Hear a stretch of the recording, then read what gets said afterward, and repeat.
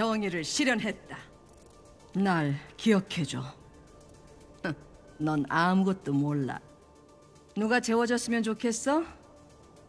말이 된다고 생각해? 사격은 이집트인의 기본 소양이지. 사람은 누구나 죽어.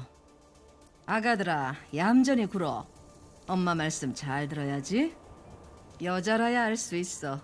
조준경 따위 필요 없어.